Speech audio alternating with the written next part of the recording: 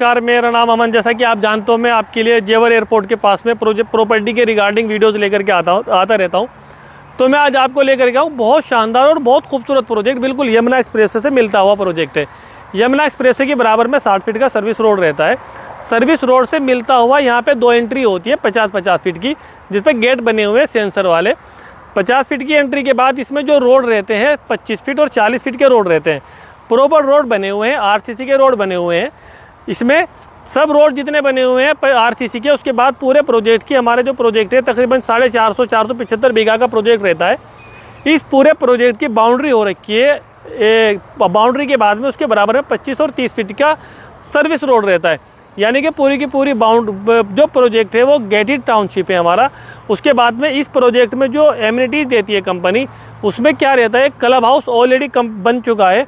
Club house है yoga centre meditation centre. उसके बराबर में फिर उसके बराबर में प्ले स्कूल रहता है। प्ले स्कूल के ये सब कंपनी बना करके देते जो मैं आपको बता दे रहा हूँ। उसके बाद में हम आते हैं कम्युनिटी सेंटर पे। कम्युनिटी सेंटर आपको कंपनी बना करके देती है। अगर मैं यहाँ पे कॉमर्शियल और रेसिडेंशियल दोनों दोनों तरह के प्लॉट्स रहते हैं यहाँ पर।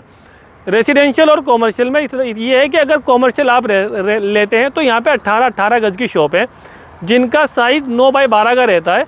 कंपनी प्रॉपर बना करके देगी, शटर लगा करके लेंटर लगा करके। आप आएँगे, सिर्फ़ उसमें अपना सामान रखकर अपनी दुकान शुरू कर सकते हैं। अब अगर मैं रेसिडेंशियल की बात करता हूँ तो यहाँ पे मिनिमम प्लॉट साइज़ जो रहता है हमारे पास में, सौ गज़ का रहता है। उसके ऊपर आप डेढ़ सौ गज़, दो सौ गज़, चार सौ गज़, पाँच सौ गज़ में जा सकते हैं। उसके बाद में यहाँ पे जो रहता है कंपनी क्लब हाउस बना करके देती है प्ले स्कूल देती है, आपको कम्युनिटी सेंटर देती है। अब उसके बाद अगर मैं ग्रीनरी की बात करता हूँ, ग्रीनरी सर आपको यहाँ पे सारी चीज़ें नज़र आ रही हैं। दूसरी चीज़ इसमें ग्रीनरी का जो रहता है। इसमें पाँच पार्क रहते हैं दो दो हज़ार गज़ के, जो कंप्लीट हो चुके हैं ऑलरेडी छठा पार्क इसमें रहता है, गोल्फ पार्क, ए जो कि एक एकड़ का रहता है। आप प्रोजेक्ट पे आते हैं, आपको पैदल फिरने की ज़रूरत नहीं होती। यहाँ पे गोल्फ कार्ट रहती है, जिसमें आपको बैठा करके विज़िट कराई जाती है। अब दूसरी बात, आप कहते हैं कि विज़िट कैसे हो सकती है? तो विज़िट का प्रोसेस सिंपल सा है यहाँ पर। दिए गए नंबर पर आप कॉल कर सकते हैं। पूरे दिल्ली एनसीआर से आप कहीं से भी विज़िट करना चाहते हैं साइट पर तो आप यहाँ एक बार कॉल कीजिए, आपकी गाड़ी बुक हो जाएगी, आपके घर से गाड़ी पिक करती है। साइट विज़िट कराने के बाद आपको घर पे ड्रॉप करते हैं, वो फ्री ऑफ़ कॉस्ट होती है। देन उसके बाद अगर मैं पेमेंट की बात करता हूँ, सर, पेमेंट का बहुत सिंपल प्रोसेस है। आप आते हैं, आपको कोई भी प्लॉट पसंद आ जाता है तो इक्कीस हज़ार रुपये में आप टोकन दे सकते हैं। जैसे ही आप टोकन देते हैं आपका प्लॉट पंद्रह दिन के लिए आपके लिए बुक हो जाता है। पंद्रह दिन के अंदर आपको फिफ्टी परसेंट अमाउंट देना होता है। रेस्ट फिफ्टी परसेंट अमाउंट आप बारह से चौदह महीने की इंस्टॉलमेंट में दे सकते हैं। ब्याज मुक्त रहती है, जो किस्तें रहती हैं। बाकी आप रजिस्ट्री हंड्रेड परसेंट पर रजिस्ट्री हो जाएगी रजिस्ट्री हो जाएगी। देन वहाँ हंड्रेड परसेंट पर आपको मोटेशन मिल जाएगी। मोटेशन का एक टाइम पीरियड हो रहता है सर पैंतालीस से नब्बे दिन का। अब सर मैं इसके आसपास के यहाँ पे एयरपोर्ट के आसपास में जो प्रॉपर्टी जो मैं बता रहा हूँ एग्जैक्टली टप्पल अलीगढ़ में जो ये आता है यहाँ पे अगर मैं इसकी बात करता हूँ यहाँ पे एम्यूनिटीज़ की यहाँ पे सर जो गवर्नमेंट के प्लान्स रहते हैं यहाँ पे सर जैसे टप्पल में लॉजिस्टिक रहा है यहाँ से एयरपोर्ट हम जाते हैं तकरीबन पंद्रह मिनट में आप एयरपोर्ट पहुँच जाते हैं उसके बाद बीस मिनट में आप फ़िल्म सिटी पहुँच जाते हैं जो कि अगर एयरपोर्ट की बात करता हूँ एशिया का पहले नंबर का सबसे बड़ा एयरपोर्ट है दुनिया का चौथे नंबर का एयरपोर्ट आ रहा है और फ़िल्म सिटी सर मुंबई से बड़ी फ़िल्म सिटी यहाँ पे बन रही है जिसका टेंडर अभी हाल फ़िलहाल में ही हुआ है बोनी कपूर जी और भूटानी ग्रुप इसको मिलकर बन, बन, मिलकर बना रहे हैं। और एयरपोर्ट के अगर मैं आप रनिंग की बात करते हो तो मैं एयरपोर्ट की रनिंग की बात जो कर रहा हूँ, अभी सितंबर ट्वेंटी नाइन्थ ऑफ़ सितंबर में इसकी फ़्लाइट रन करनी थी।